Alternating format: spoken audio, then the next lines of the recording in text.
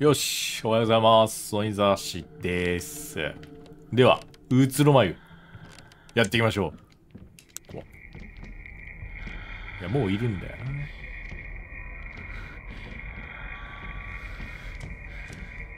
ふぅふぅふぅ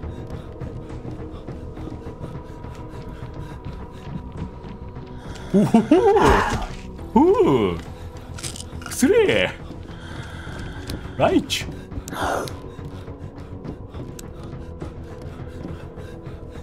ここここ。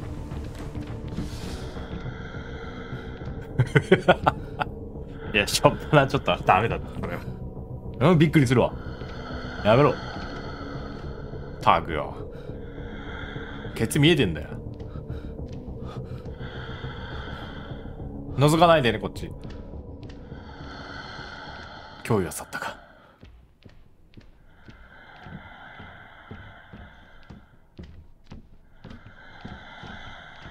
いや来るか。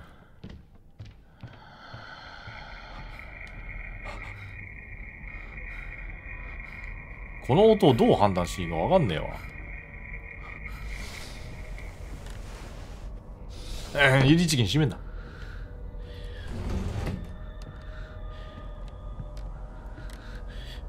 さああいつは今あっちにいるから。大丈夫でしょう。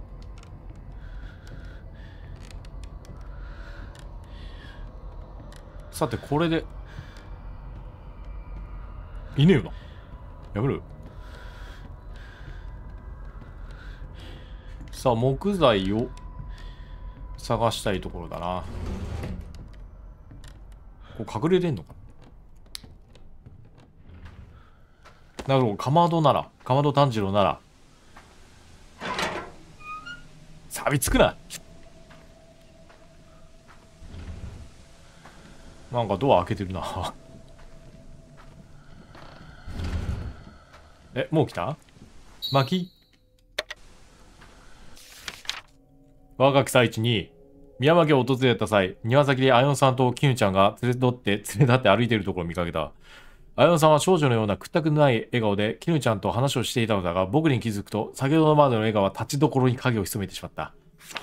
うすうす気がついていたのだ。彼女が目をやる先に誰がいるのか。彼女がそばにいてほしいと望む相手が誰なのか。それが僕でないこと。サイサー、大丈夫か？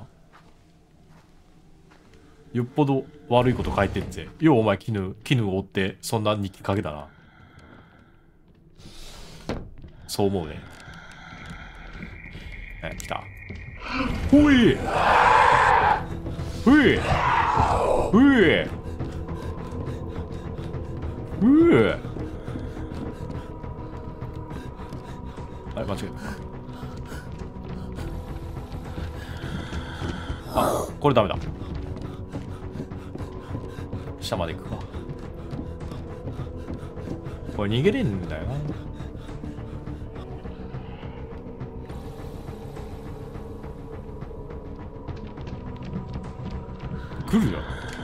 なんでバレてんだよ？なんでバレてんだ？やっぱり何も見えない。え？近い。近いのこれ。もしかして。なんか普通にバレちゃうな。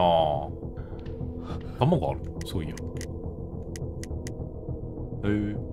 あ一応食べる永続的にダメージがわずかに軽減されるとか書いてあるわ。これいいんじゃない？まだ暖かいんだ。そっち早なんか、生まれるんじゃね？やめてよ。帰れ帰れ。タグよ。なんで息ひそ潜めてたのバレたんだろうか。閉めんな。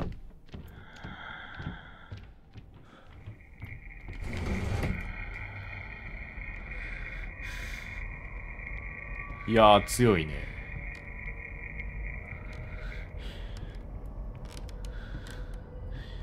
ん？どっから来た？あ、普通に降りてきたのかな？嫌な感じ。じゃ、火でも起こすか。とりあえず温まろう。あた、温めポイントや。マキはこれ火打ち石でつくとは思えんぞさすがにさすがにそんな簡単につくとは思えんぞひどい匂いだ。これはもしかして。何？いや深く考えるのはやめておこ何を？何を？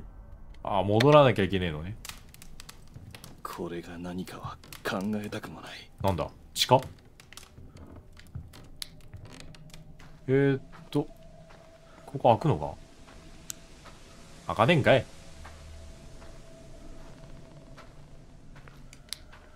えっとここは引っかかってない。ここは行ったしいいか。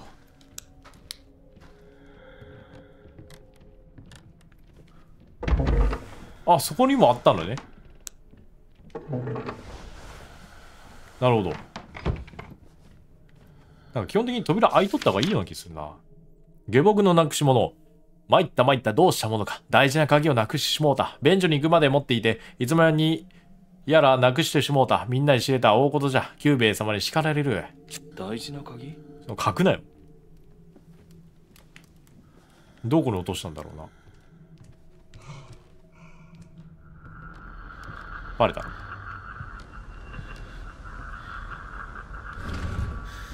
セーブポイント。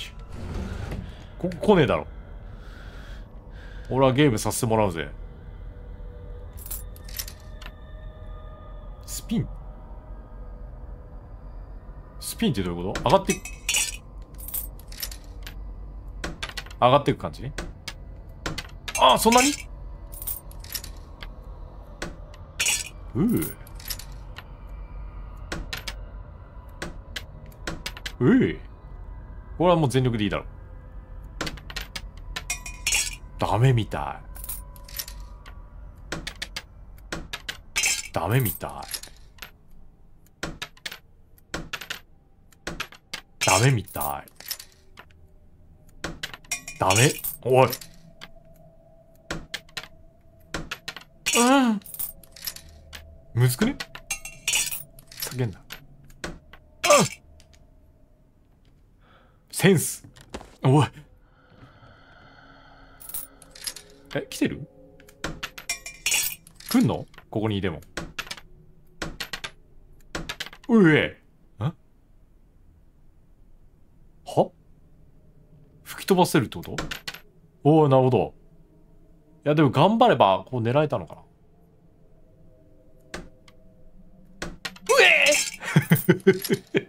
えうんあ、あ、キャッチボールしないで。あーじゃん。ダメだ、センスがないわ。はい。そんな感じで。取ってなませんでした。取ってなかったわ、今。で、とりあえず、この真ん中の通路を開通させたんでね、缶抜き、缶抜きじゃねえや。なんだ、なんていうんだ、突っ張り棒みたいな外して。で、今、マユシーが通るの待ってます。マユシー。はい。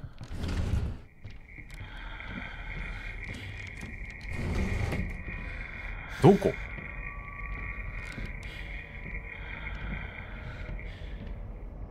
どこ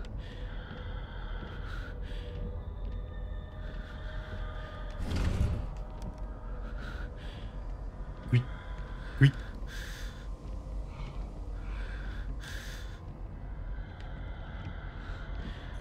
こっちかこ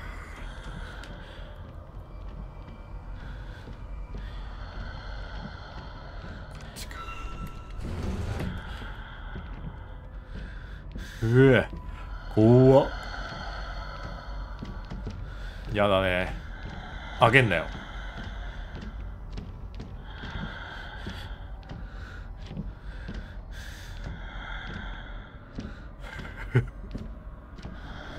見えてね？それ。一瞬入ってくるんかと思ったわ。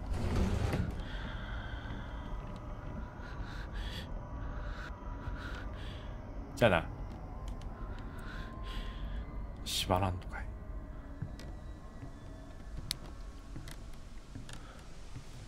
えー、っと、缶抜きのところはこっちだったな。線抜きか。え？釘抜き？はい。鍵持ってんだが、一回開けようとすな。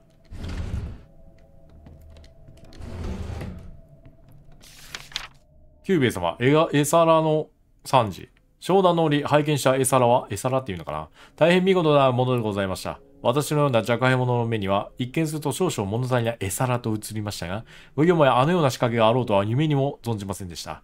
冷たく澄んだ水を差してこそ、誠の美しさを表す絵皿とはひた、ひたすら感服いたしました。またぜひご拝見したく存じますと。さらに、あの、ポンプの水を組んであげるのかな？あー、枠木を抜くために使う道具。へえ、エンマって言うんだ、これ。エンマ、エンマなのか本当に。エンマって、エンマって読む？あれ。知らんがな。ふう。じゃあ2階だ。こういうのは大抵なぜか戻っている。ん？ちげちげ、こっちか。来るなよ。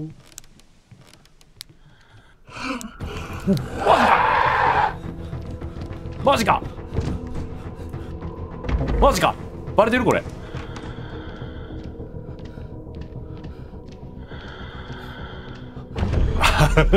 こんにちは。あざといね。結構可愛いんだな。う薬ナイスえー、っと。こっちか。あこっちじゃねえや。いてずっと走ってらんねえんだよなこれ。なんでふい。なんかめちゃめちゃ食らってんな。まあとりあえず2階には来れたな。まだ早いだろねそれ。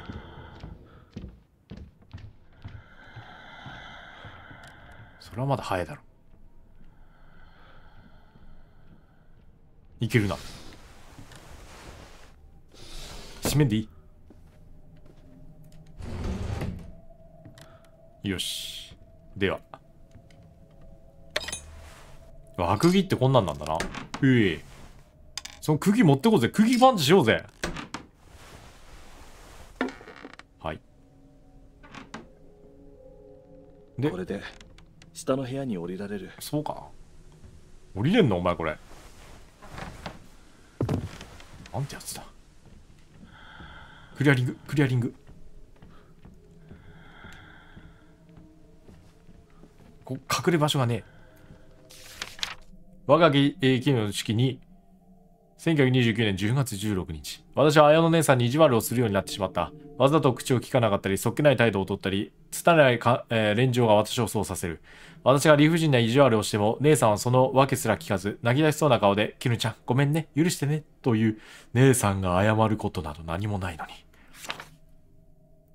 秋の夕暮れ姉さんと二人でもみじ狩りをしに神社の参道から山に入った。私が姉さんの手を引いてやると嬉しそうに微笑んで私の手を握り返してきた。近頃の意地悪な私の態度を咎めることもなく姉さんはいつも優しい。幼い頃から秋になるとこっそり屋敷を抜け出しは二人きりで赤く染まるもみじと夕暮れを眺めてきた。晩秋の冷たい風が吹くほどに繋いだ手のぬくえ暖かさを感じられた。けれどこのきっとこのぬくもりも今年で最後なのだろう。ほう。来春に姉さんはサイツさんと祝言を挙げることになっている。私も遠くないうちによそへ嫁に出されるはずだ。ほう。あれ？サイチじいちゃんは？キムちゃんもみじ綺麗だね。来年も一緒に見ようね。無邪気に目を細めて、そういう姉さん。人の気も知らないで姉さんは私を苦しめる。いつもそばにいた姉さんが離れていってしまうこと。恋しちゃっているサイチさんが姉さんと一緒になること。私は言い表せないこの醜悪な、醜悪な感情の苛立ちをとうとう姉さんにぶつけてしまった。もう二度と来ないわ。サイチさんに連れてきてもらえればいいじゃない。いつまで私に頼らないで。私はそう言い放って、繋いでいた手を乱暴に振りほどき、姉さんに背を向けて歩き出した。溢れ出す涙を姉さんに見られたくなかった。後ろから置いてかないで。と小さくギりそうな声がした。私は聞こえないふりをして、一人で山を降りてし降りてしまった。あの時、綾の姉さんも泣いていたのだろうか。なるほど。サイチともともとは結婚する予定だったんだな。で、多分これで帰ってこなくて、まあ、さっきの眉姫伝説みたいな感じになっちゃって帰ってこなくて、結局結婚したのはキルさんっていう感じだったのかな。ボタンの鍵、どこだっけ？何も思い出せねえわ。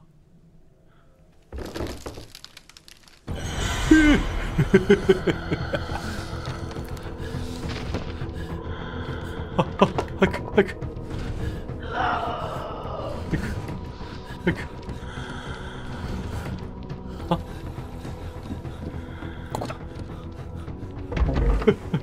まさか覗いていらっしゃるとは思いませんで。めちゃめちゃ燃えてる。火事なんねや。ボタンはどこだっけ？女中部屋だったっけ？全然覚えてないわ。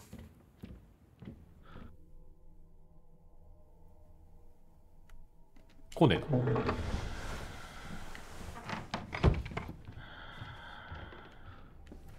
いるな。あれは？これボタンじゃなかったと思うけど。ボタンでした。ボタンでした。どんな技術やね。なるほど。ここが、繋がったか閉まんねえな。中には、んでもアイテム特に、死者の間。あ、そっか、ここ来てねえのか？あれ？綾野先生さんを残して一人で山を降りたあの日、姉さんはもうすぐに私の後を追ってくると思っていた。そしていつもより泣きそうな顔で私に謝るんだろうと。でも、綾野姉さんは帰ってこなかった。どうして私の手を離してしまったのか。あのまま手を繋いで二人で山を降りていれば、綾野姉さんは今も私のそばに、そばにいたはずなのに。私は浅はかな嫉妬心で姉さんを失ってしまった。何日も泣き暮らして、もう涙、涙も出ない。雪の降る夜更け、誰かに呼ばれている気がして、外に目をやると、門の前に綾野姉さんが立っていた。一月も山をさまよっていたというのに。着物も髪も綺麗なままで、草履には乳くれ一つついていない。しかし、姉さんは口が聞けなくなっていた。私は泣きながら姉姉さんを抱きしめて強く手を握った。綾野姉さんの手は温かかった。あの時私が手放した温かさ。もう二度とこの手は離さない。どういうこと？まあだからこっから出たくなかったっていうのはあるんだろうけど。どうなんだろうな。ん？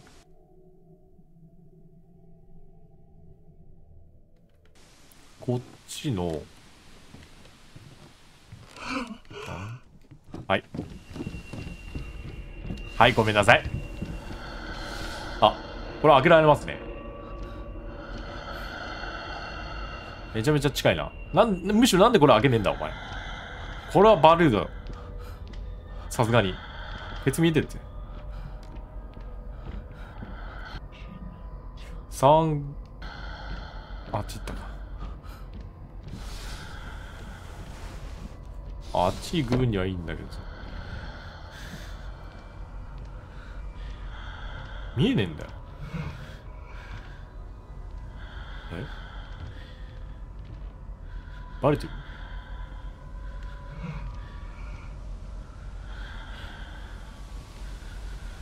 バレてる？ここは？ああ、三木のもんか。まんまか。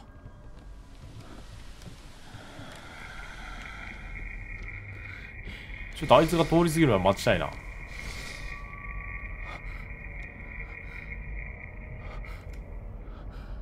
あっち行った。なんであっち行くの？玄関。あっち行くんだよな。まあ、そりゃそうだよな。まだ行ってないんだからさ。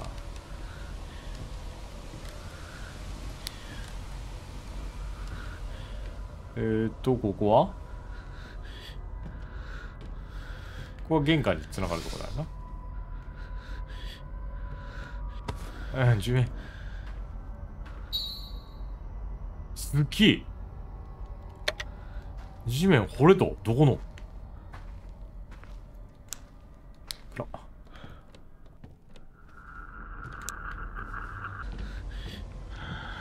いや来てるのわかんねえ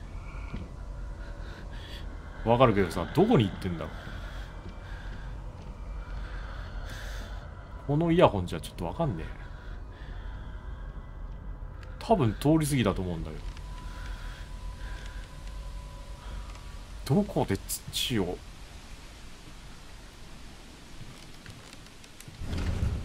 俺と言うんだい？うんいい感じ。先にこっちやな。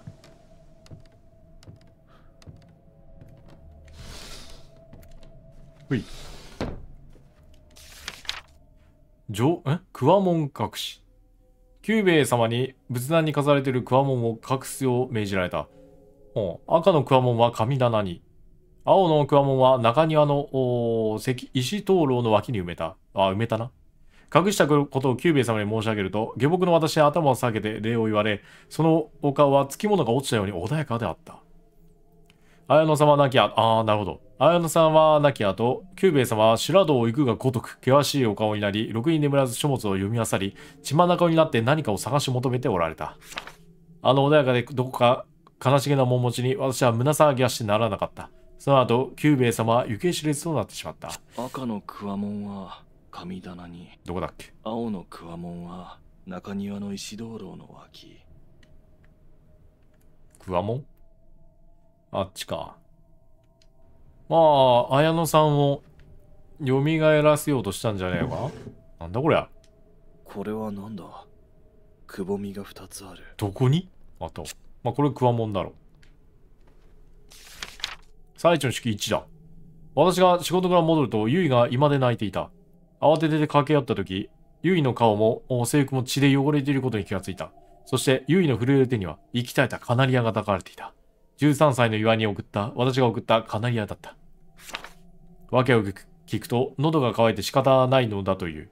いくら水を飲めど収まらず、たまらなくなり、カナリアの血を飲んでしまったと。何事なく何事もなく育ってほしいと願っていた反面、このような日が来ることを恐れていた。私は愕然としたが、このままではユイの心が心が壊れてしまう。赤子のユイを初めて腕に抱いたとき、この子のこの子のためなら何も厭わないと誓った。母親によく似た私の宝だ。私は泣きじゃくるユイに血を欲する性分は私譲りのもので、怖がらせたくないがために黙っていたと偽った。なるほど。最地関係ねえんだ。ユイの性分を私のせいにすることで、ユイの心をこのようにつなぎ止めておくことができると思ったのだ。すまないと謝って泣く私に、ユイはお父さん泣かないでと言ってくれた。それが私はたびたび肉屋で血を買い求め、肉屋で血を買い求められるの？それをユイと共に飲むようになった。辛いな。辛いな。自分は全然血いらねえのに飲んじゃうの？それは辛いわ。やっぱ辛いわ。こっちの裏は特には何もないか。そうそろ、まあ、まあ大丈夫か。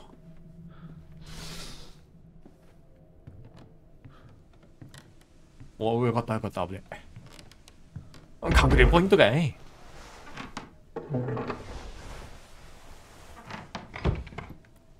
よし。なんであの箱置いてあるんだろうな。これ来るな、多分。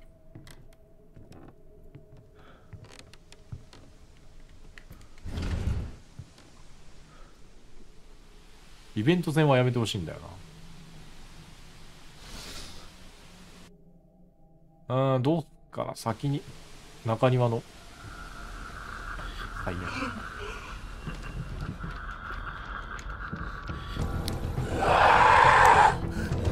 よし、よけた俺はこっちに行かせてもらうぜ。これでまたもう、どうなってんのって思う。ズうわ、中にいる。どこ歩いてんの？それ、これバレてる？これ実はバレてんじゃない？バレてない。くれてない。いや、バレてる。バレてない。まったく困ったやつだぜ。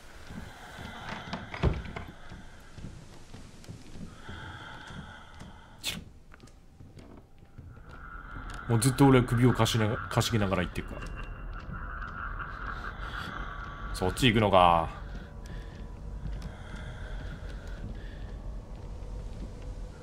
やめてほしいな。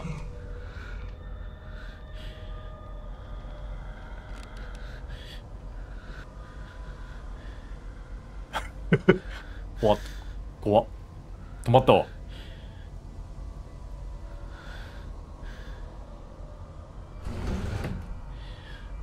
扉が勝手に。あんまり近づくとなんか突き抜けてそうだ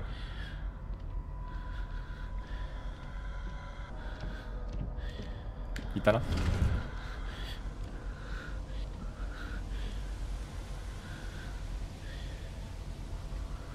よし、いったか。えー、っと。あ、置いてあんじゃん、これ。で、ここで掘る。埋めたっていう話聞かないと多分掘らねえだろうな。見つからなかったらどうすんの？あった、でか。青。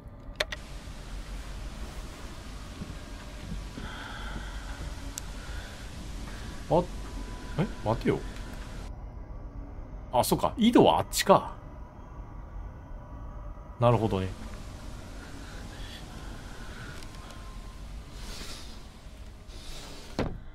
えー、っと。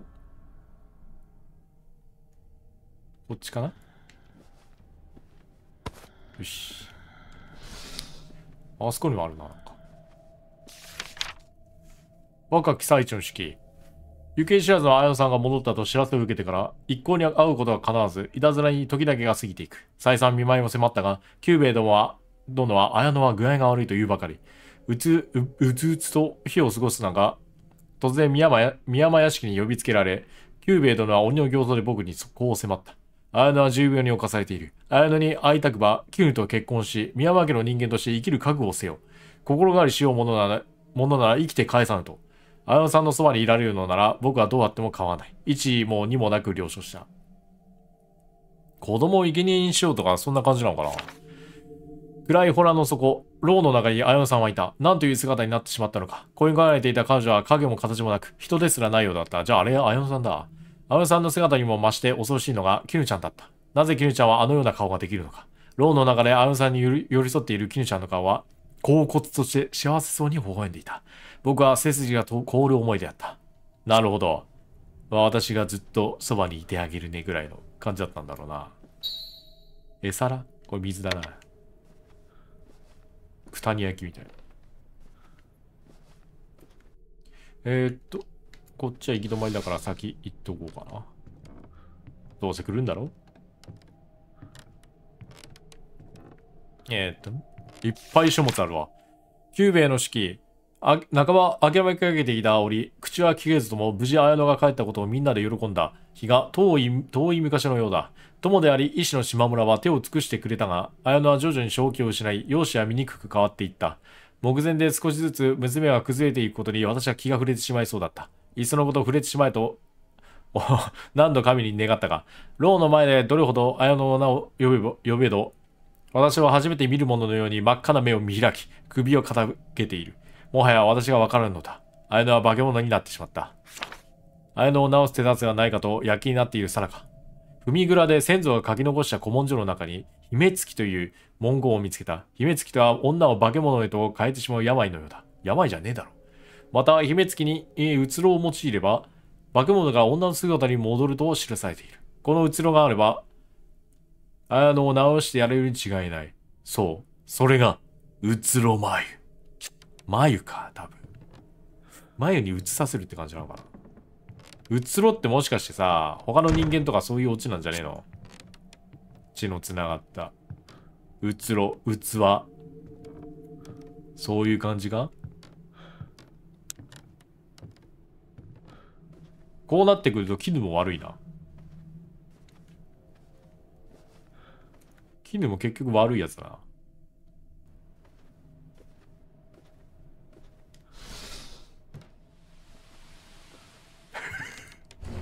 スライドしてやるわ。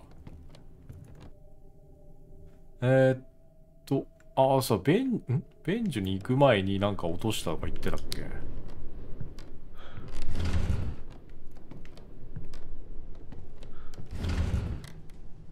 おいおいなくした鍵ってまさかこの中か どうする？え？調べるだろういやー絶対できそう。人生最悪の日だな。えー、希望。何か。てかこんだけ時間経ってたらもう発酵して土になってたりしないか？草。草。草木の鍵 はい。ああ臭かった。臭かったね。わ嫌だな。手洗いてえなポン俺まだここ来てなかったのかああ、油差しか。なるほど、いっぱい手に入ってきたぞ。ほーん、セーブしよう。あ、じゃあここで終わろう。はい、では、また、来ましたけど。さよなら。